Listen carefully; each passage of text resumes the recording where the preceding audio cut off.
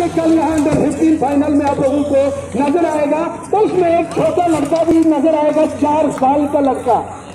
चार साल। में अभी हमारे लड़कों को अभी अपना आपको तैयारी करने में काफ़ी मुश्किल होता है। वो चार साल का लड़के ने यहाँ दो गोल भी कर सेमीफाइनल में किए थे। इतना चालाक थे और वो फॉरन का वो जो कोच है उसने बहुत कुछ दे के किया है, बहुत कुछ सिखा के दिया है। हमें उस सिखाई का, उस कोचिंग का हमें फ़ायदा लेने की ज़रूरत है।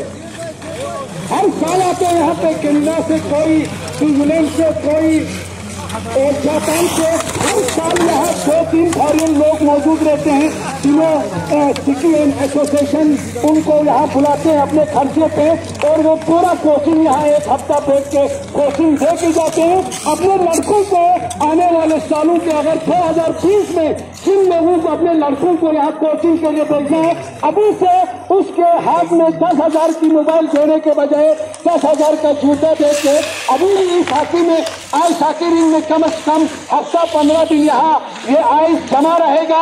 इसमें चलने फिरने के लिए राउंड मारने के लिए उसको जूता ला के अभी से प्रैक्टिस करें, अभी से तैयार करें अपने लड़कों को। कंजूसी न करें, जेब से दस रुपया, दस हज़ार रुपया निकल गया। मेरा क्या होगा, लड़का कहाँ पहुंचेगा? आप कितना इतमान